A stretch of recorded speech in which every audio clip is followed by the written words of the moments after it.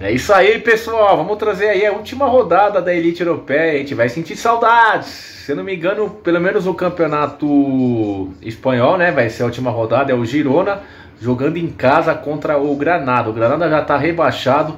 O Girona não chega no Barcelona.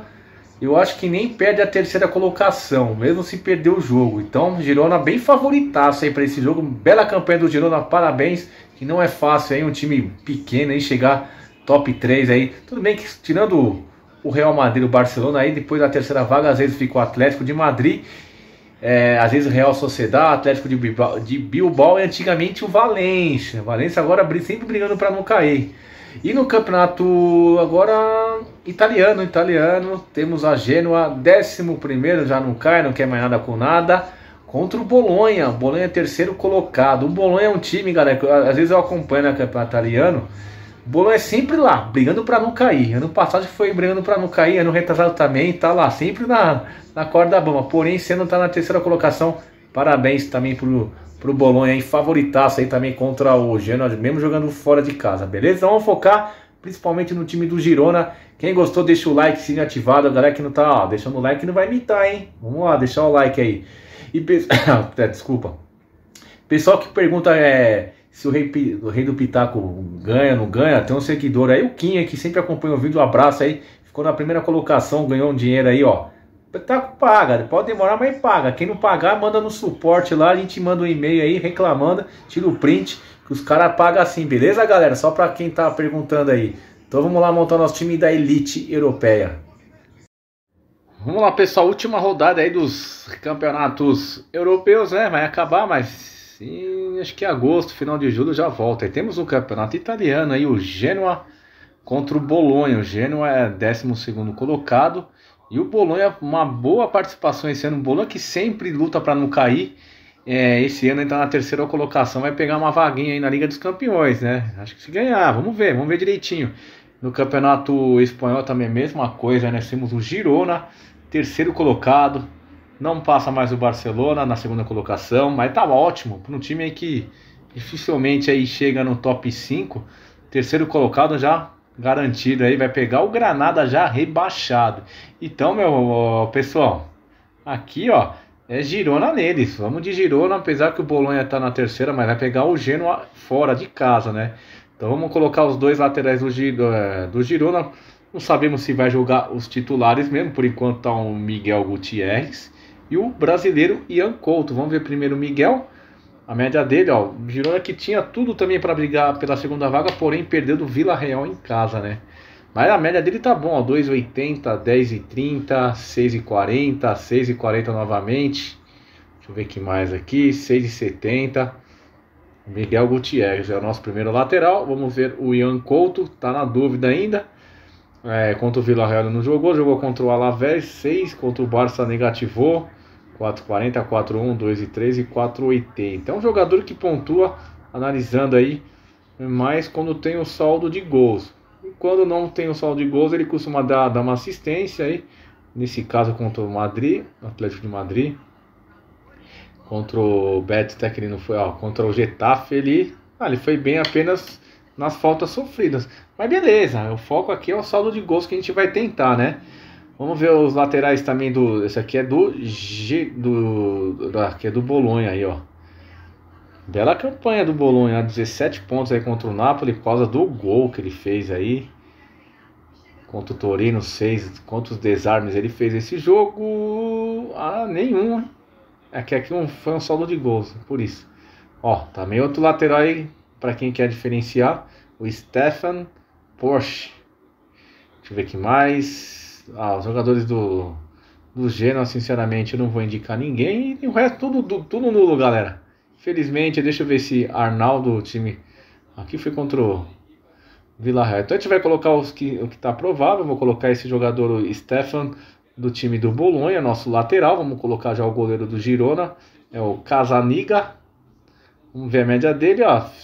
5 pontos contra o, contra o Valência contra o Vila que tomou gol, fez 1, 5, 5, 18 pontos contra o Las Palmas. Quantas defesas? Ah, tá, ele pegou um pênalti aqui aí no Pitaco. O pênalti vale 7 pontos. Ótimo, ótimo, ótimo. Nosso goleiro, Vamos já colocar o goleiro reserva. Vamos ver aí o Lucas no time do Bolonha. Negativo contra a Juventus. Empatou, né? 3 a 3 Depois fez 8, 2,90, 2,40. Tá numa média boa, galera. 12 pontos. É, contra o. Acho que é Fronzione, não lembro o nome do time. Cinco defesas. Que mais? Deixa eu ver se Mark Martinez aí do time do Granada. Granada já rebaixado. Vamos lá então de Lucas, colocar o do Bolonha. Treinador também será do Girona. Cadê? O Michel. Vamos ver agora os defensores prováveis do Girona. Temos o Eric Garcia. Ah, temos três, hein? Eric Garcia. O... Vamos ver primeiro o Eric Garcia, depois a gente fala dos outros. Zero pontos na última. Contra o Vila 1,50. Depois 12 contra o Alavés. Ele fez um gol, por isso que tá bem. A gente vê que a média dele tá boa, porém é, é, não é com saldo, né, galera? Ele costuma pontuar com ou dar uma assistência ou saldo ou gol, mas tudo bem. Não tem também grandes opções, né? O Davi Lopes, ó, também tá até piorzinho o Davi Lopes, ó, 14, 0, 3, 80 e 1,50. Deixa eu ver o Blind. O Blind tá pior ainda. Então vamos lá, colocar os dois aí, o Davi Lopes, David Lopes, né? E o Eric Garcia. Vamos ver, e vamos colocar o Blind na reserva, mas vamos ver os jogadores do Bolonha, que a gente também já citou, o John, o Lukumi, ó. Se for, se, se for analisar por média, ele tá melhor os jogadores do Bolonha defensivamente, ó, 9,40. Aqui também com saldo 5 e contra a Juventus eles 0. Pelo que eu tô vendo aqui, dificilmente os defensores vêm pontuando quando toma gol. Vamos ver o Ricardo aí, o Calafiori. Nossa, que imitada, hein? Dois gols contra a Juventus. É, deixa eu ver contra o Napoli. Deu uma assistência. Um zagueiro aí que tá. Deve ser aquele zagueiro artilheiro, estilo Gustavo Gomes, que vai pra área e faz uns golzinhos aí. Deixa eu ver contra, contra a minha Roma. Aí ele deu uma assistência também, ó. 5.20. Então, pessoal, para quem quer diferencial, vale com certeza. O cara, pelo que eu tô vendo aqui, só, só esse jogo aqui, que dia? Fez zero pontos. Deve ter nem jogado aqui contra a Lazio. O resto, ó, Tá sempre indo bem, ficar de olho nele. Deixa eu ver aqui mais. E eu acho que só, né? Então a gente vai colocar ele na reserva aí, o Ricardo Calafiore. Nosso reserva praticamente saindo de Bolonha na reserva. Vamos ver a meiuca. Deixa eu ver se Freller 8.20 apenas. Só mitou numa mitou. Fez uns golzinhos, né? É, Ivan Martin 6,20. O que, que ele fez aqui? Ah, deu uma assistência. 3,3, 4,30. Pontua mais quando tem assistência ou gol aqui, ó, analisando. Sérgio Ruiz aí do Granada, horrível. Giovanni Fabian, nossa, também tá muito ruim. Alex Garcia, nossa, galera, tá feia a coisa, hein? Olha, o melhorzinho é o Herrera aqui, que tá 4, 6,90. Uh, deixa eu ver, aqui ele deu.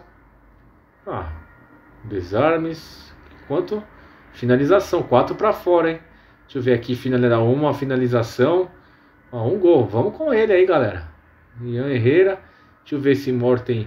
Aqui dá até para colocar jogador do Genoa, porque a gente não colocou ninguém do Bolonha defensivamente, só na reserva. Mas também não, tá, não dá para confiar muito, não. Nossa, o resto tudo. Bom, vamos lá, né? Eu vou dobrar. Vou colocar o Martim. Deixa eu ver se eu coloco esse o Giovanni Fabian. Nossa, não dá, né, meu? Tem uns caras muito, muito ruim. Facundo Pelestre, ó, no Granada. O Freuler. Puta, ele fez o gol na última rodada, né? Fez o gol nada, é quadro desarme, nem gol ele serviu para fazer. Meu pai do céu, como tá feia a coisa aqui. Vamos colocar esse. O Morten. É, vamos colocar ele do, do Genoa, vai. Vou colocar o reserva. Aí eu vou colocar o. O Freuler. Fazer o que, né, pessoal? Meio campo tá horrível, tá pior que a defesa. Vamos ver os atacantes. Salem. Salem Marks. Salem Markers. Do time do Bolonha aí, 16 e 13 pontos aí. Contra quem ele fez 13 pontos? contra quem? A minha Roma. Depois ele fez 16 Contra o Dinese em casa ele fez um gol. 3, depois 0, 0. Aí fez 15 contra a Salernitana. Ah, beleza, por enquanto é um dos favoritos. Vamos ver o Albert, do time do, do Genoa. Não dá pra confiar. Ricardo Urselini, média básica. Aí sim, ó, temos os jogadores do, do Girona, o Savinho aí, ex-atlético. Seleção brasileira, 10, 5,40, 5,70, 6,60. Tá ótimo, meu atacante. Vamos, opa, coloquei o, aqui o Sávio. Vamos ver o Tissigog, Tissigokov, Tissikov, nome russo, sei lá de onde que ele é. 9,20, 4,30, 4,50. Ah, vamos dobrar, sem delongas, falta um. Puta, tem outro aqui do Girona, o, o Dove Bic. Dove Bic. Mas vamos colocar vai, esse daqui, ó, do, do Bolonha, beleza? Não, também vou triplicar o Girona, não, nem não dá, né? Vou colocar o do Girona a gente coloca no banco do Girona. Então é isso aí, galera. Ficou um time aí praticamente de Girona, aí, bem favorito contra o fraco Granada. Espero que não tenha zebra. Tamo junto.